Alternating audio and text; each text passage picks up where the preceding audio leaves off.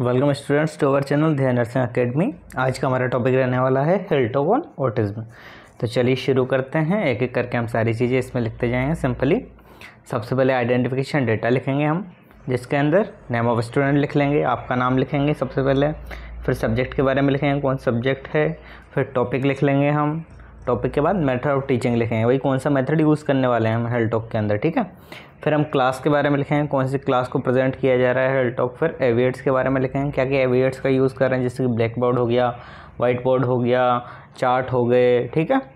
Pamphlet हो गए, जो भी है आपके पास, वो लिख लेंगे। इसके बाद हम नंबर ऑफ़ स्टूडेंट्स के बारे में लिखेंगे। भाई कितने स्टूडेंट्स हैं हेल्थ टॉक के अंदर? जब बताएँगे हम तो कितने स्टूडेंट्स को जानकारी प्रोवाइड करवाई जा रही है। फिर टाइम ड्यूरेशन के बारे में लिखेंगे, कितना टाइम लगने वाला है डेट के बारे में लिखेंगे, किस डेट को हेल्थ टॉक प्रेजेंट किया जा रहा है।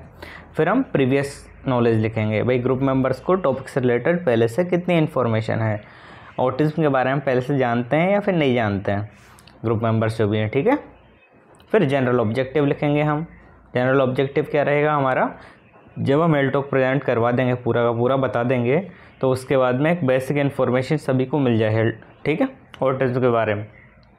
इसके बाद स्पेसिफिक ऑब्जेक्टिव लिखेंगे हम, जिसके अंदर क्या आ जाएगा? At the end of the health talk the group members know about introduction of autism definition of autism causes symptoms treatment and prevention autism के बारे में बेसिक से लेके स्पेसिफिक इन्फॉर्मेशन सारी मिल जानी चाहिए। ये हमारा स्पेसिफिक ऑब्जेक्टिव रहेगा, ठीक है? जैसे कि ऑटिज्म के बारे में कि भाई ऑटिज्म होता क्या है कैसे होगा, इसका सिम्टम्स क्या देखने को मिलेंगे, इसका ट्रीटमेंट कैसे करेंगे और प्रिवेंशन कैसे किया जा सकता है। ये सारे हमारे स्पेसिफिक ऑब्जेक्टिव हो जाएँगे, ठीक इसके बाद में हम क्या करेंगे? एक टेबल बना लेंगे जिसके अकॉर्डिंग पूरा हेल्टों को हम लिखने वाले हैं। सबसे पहले क्या आ जाएगा? सीरियल नंबर वाला कॉलम आ जाएगा, फिर स्पेसिफिक ऑब्जेक्टिव का, फिर time content teacher activity AV aids evaluation सारे कॉलम बन जाएँगे और एक एक के अंदर हम सारी चीज़ें लिखने वाले हैं। सबसे पहले इंट्रोडक्शन लिख लेंगे हम ऑटिज्म का।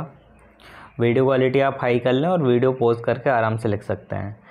ये इंट्रोडक्शन हो जाएगा ऑटिज्म का। टीचिंग लर्निंग एक्टिविटी के अंदर लेक्चर कम डिस्कशन मेथड हो जाएगा एवियट्स में ब्लैक बोर्ड यूज़ कर रहे हैं हम, ठीक है?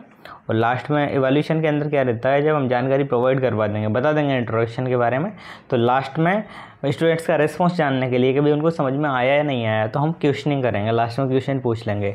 जैसे इंट्रोडक्शन के बारे में हमने बताया तो लास्ट में क्वेश्चन क्या पूछ लेंगे? वॉट इज़ ऑटिज्म ठीक है? ये एवोल्यूशन के अंदर हो जाएगा। इसके बाद क्या करें हम? सेकंड टॉपिक लिखेंगे। डेफिनेशन ऑफ़ ऑटिज्म भाई ऑटिज्म की डेफिनेशन क्या है? ये डेफिनेशन हो जाएगी ऑटिज्म की। ठीक है? क्लियरली विजुलाइज हो रही है हमें।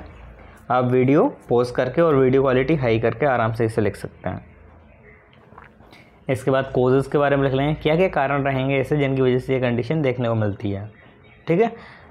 मतलब कि कौन कौन सी एटियोलॉजी रहेगी ऑटिज्म होने की। ये कोजेज़ हो जाएँगे। कोजेज़ के बाद सिम्टम्स क्या क्या देखने को मिलेंगे हमें ऑटिज्म के।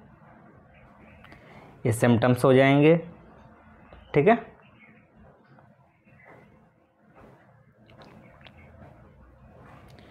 सिम्टम्स हैं ऑटिज्म के।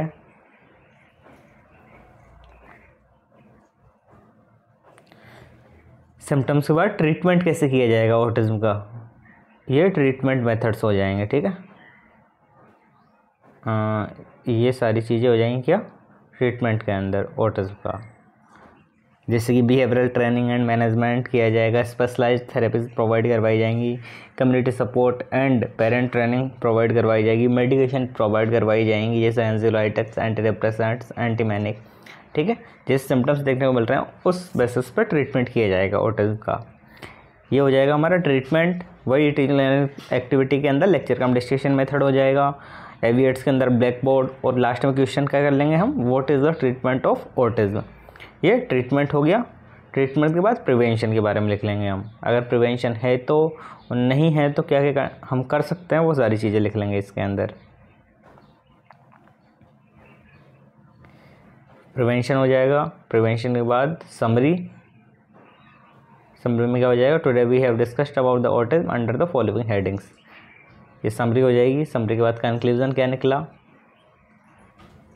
ये कंक्लूजन हो जाएगा। ठीक है?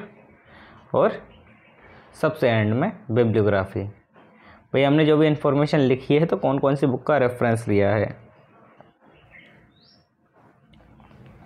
ये बिब्लियोग्राफी हो जाएगी।